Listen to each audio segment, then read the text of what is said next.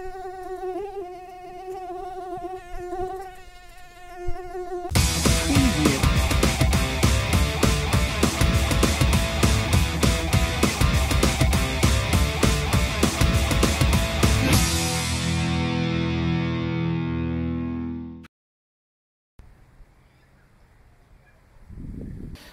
the last video I talked about some of the chemical repellents that you can use on your skin and this video will talk about the non-chemical alternatives that are available. So I've got a selection of alternatives here of non-DEET or non-chemical based repellents.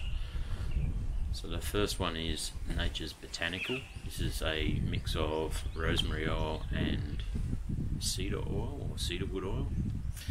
It's a roll-on. Uh, we first heard about this particular one in Victoria. For me, my smell, the cedarwood is probably a stronger smell. Um, once it's rubbed on, it doesn't really leave much of a film.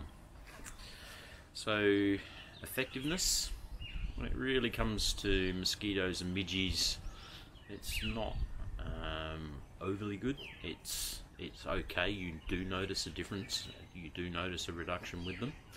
Um, but I would suggest that for flies, it actually works quite well. So this is the interesting thing with most repellents and flies. The flies will still buzz around you, but it's whether they land on you. When you've got this on, you tend to get a lot less flies landing on you.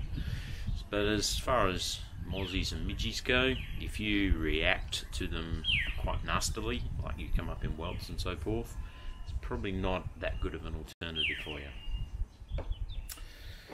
Uh, this version is called Good Riddance. This is a pump spray. Uh, it's got a, a yellowy type of cream that's really thick and its smell is very pungent. It's a very, very strong smell. So we purchased this from the Mindil markets up here in Darwin. And from our perspective, we didn't find it to work too well. We still were being irritated by midges and mozzies. And again, if you react to them uh, quite badly, this is probably not one of your best alternatives. This one is the locals. Again this is another DEET free version. This comes in two two forms. So this one's got a cream. You rub it on and it's it's okay. It smells pretty low um, and it, it works okay this particular one it also comes in a, a pump spray version as well so it's quite a clear liquid. It doesn't have an overly strong smell. It's a very light sort of a smell. Uh, after a little while, it evaporates and whilst you can't see it here, the film of the spray one isn't too bad. One of the things that Kris has found with the creams, these types of things, is that in the hot weather, in the build up, and when the humidity goes up, the creams become uncomfortable, um, and um, they they create a discomfort of a different type. So, um, whilst you can use this and it reduces the midges and the mozzies, the impact of those, she prefers this one because it doesn't leave this um, film on that reacts with the more humid weather. So there is a, an old school remedy which is Dettol and you mix it with oil. You can use coconut oil or you can use baby oil. Um, there's all sorts of versions um, out there of views about uh, how much Dettol and what the ratios are and so forth. Now, effectiveness. This really works well, particularly for midges.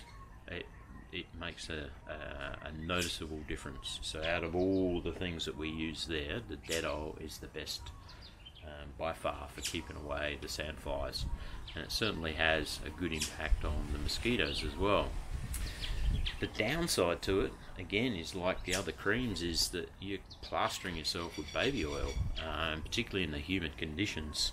You just become really uncomfortable and sweaty and icky and so forth. If you were to go, if you need, if you wanted to put this on just before you went to bed, you would want a shower before you went to bed, um, rather than going to bed with this on.